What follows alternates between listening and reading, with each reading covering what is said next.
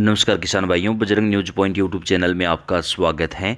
नरमा कपास के ताज़ा रेट सबसे पहले पाने के लिए आप चैनल को सब्सक्राइब ज़रूर कर लें, वीडियो को लाइक और शेयर कर दें।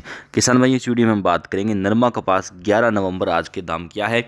आज नरमा कपास में कुछ दिनों के बाद फिर से तेज़ी का रुख देखने को मिला है। जी हाँ किसान भाइयों, आज हरियाणा की मंडियों की अगर बात करें तो नरमा कपास में पाँच सौ तक की तेज़ी, जबकि राजस्थान की मंडियों में पाँच सौ से सात सौ तक की तेज़ी देखने को मिली है।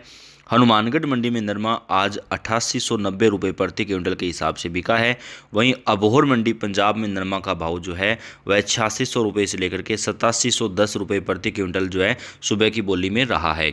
वहीं बात करें किसान भाइयों, अन्य मंडियों के आज के रेट की तो सिरसा मंडी हरियाणा में नरमा ने आज अच्छा रिकॉर्ड किया है। यहाँ पे नरमा अट्ठासी सौ नब्बे रुपये प्रति क्विंटल ऊपर में बिका है, जो कि पहले यहाँ पे पिचासी सौ रुपये तक था।